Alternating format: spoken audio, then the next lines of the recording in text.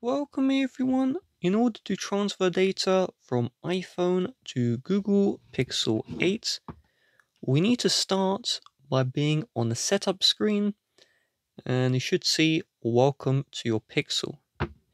If instead you have the lock screen here and if we see the home screen as well, then we will need to factory reset our Pixel 8 and to do this start by opening up the settings.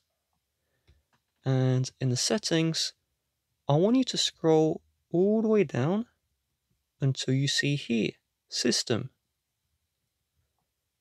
You are then going to scroll to the bottom until you see reset options. And then you're going to select erase all data and it will do a factory data reset once we've reset the phone on the Pixel, we're going to tap on Get Started. And then we're going to tap on iPhone or iPad. We now need to connect to our Wi-Fi. So I'm going to do that now. It is now going to get the phone ready. It is now asking us to sign in to our Google account. Google account is used for most of Google services. So if you have an account, enter this one in now. If you don't have an account, tap create account and follow the on-screen instructions. We now need to agree to add the Google accounts. And it's now asking us to connect to our mobile network. If your old iPhone had eSIM, you can't move that over to your new Pixel. Instead, you will need to tap on download eSIM and you will need to download a new QR code, which you would have to ask your carrier to give you. You can also insert a physical SIM card as well. There is a SIM card slot on all models of Pixel 8. You don't have to do this now, so instead I'm going to tap on skip and then skip again. It's now asking us to set a pin. You can tap screen lock options to change the screen lock type, but I'm personally going to set a pin. And then it says set up fingerprint unlock. Scroll down to the bottom and then select I agree and then start. We now need to long press our finger, ideally your thumb, on the sensor and then release. And keep on doing this, but each scan, slightly change the position of your thumb. There we go, just keep on repeating this process, moving your thumb around, or whatever finger you're using, so that as much of the surface is captured. If you want to add another fingerprint, tap on add another. Otherwise, tap on next. You can add more fingerprints in the settings. It's now asking us to copy data. So let's tap on next. And now we need to connect both devices together. So get the charging cable for your iPhone and connect it to the iPhone. On some of the newer models, you can connect the other end of the cable into the Pixel 8 and there's no problem.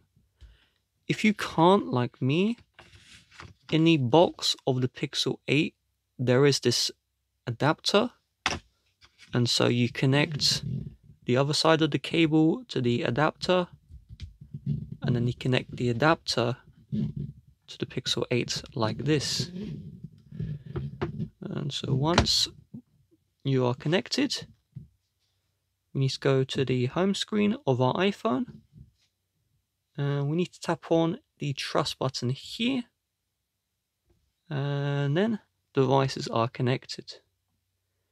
It's now going to scan the files on your old iPhone to see what can be moved to the Pixel 8. It has found the files here. Uh, so just leave everything ticked or tap something to untick and then tap on copy. You will notice that there are Google's versions of Apple's apps. So Google Find My is a replacement for Find My iPhone, etc.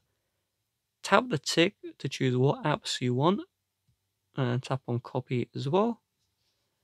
And now it's going to copy the data.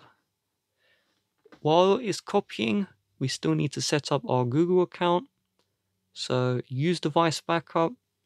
If you want this on, great. If you want it off, turn it off. Use location. You should keep this on because each app has to ask for the location permission manually. Allow scanning. Uh, it improves your location. It allows location to work offline, but it also means that Google can see your location even when you're offline. I personally turn this one off. It drains battery too. But if you're having issues with your location, go into the settings and turn on the scanning. Send data to Google. I turn this one off. And then let's scroll to the bottom and accept. Warranty information. Just tap on next for this. Continue setup. If you want to set up Google Pay, which is Google's version of Apple Pay and Google Assistant, tap continue. If you don't want to, tap on leave and get reminder. You can always set up these two later in the settings. Additional apps, if you want these, great. If you don't, tap the tick to not get them. And then we'll tap on OK. Uh, copying is done, so the data transfer is done. Once it's done, you can unplug both devices. If it hasn't done, patiently wait for the transfer to finish. So we'll tap on done. And you can see here, you need to go to this website, g.co forward slash transfer from iCloud to get your photos and videos from iCloud to your Pixel and there's other stuff here. If there's any other information you need to read for your cloud data. Turning off iMessage. So on the iPhone itself, we will need to open the settings. And in the settings, we will need to locate where it says messages. And then if iMessage is on, Tap this one to turn it off. And then on the pixel, tap done. Now it's going to get the phone ready. And swipe to navigate. So Google has the navigation that you would see on the iPhones without a home button.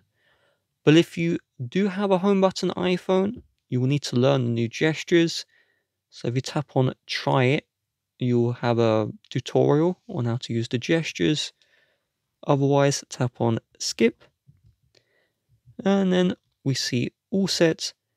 And if you want buttons, tap system navigation settings and then free button navigation. Otherwise, leave it as gesture navigation and then press the home button or swipe up to go home. So let's have a look at what this is transferred. You can see the photos have been moved over from the iPhone. The wallpaper hasn't, so you'd have to reset the uh, the wallpaper manually on your Pixel. Uh, any apps which were on your old phone, this is this has basically nothing. If there were apps, they would re-download. But please keep in mind, you will have to re-sign into your accounts. So do not factory reset your iPhone until you verify that everything has been moved over to your Pixel. Otherwise, you may lose some data. With that being said, if you would like to help support the channel, please do check the description. Bye bye.